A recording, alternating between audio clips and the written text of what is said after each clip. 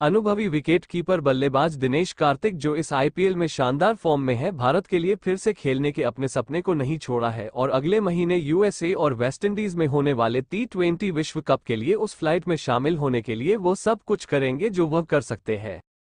कार्तिक, जो 1 जून को विश्व कप शुरू होने तक उनतालीस वर्ष के हो जाएँगे 2022 में ऑस्ट्रेलिया में टी ट्वेंटी विश्व कप के पिछले संस्करण का भी हिस्सा थे, जो टीम इंडिया के लिए उनका आखिरी प्रदर्शन भी था।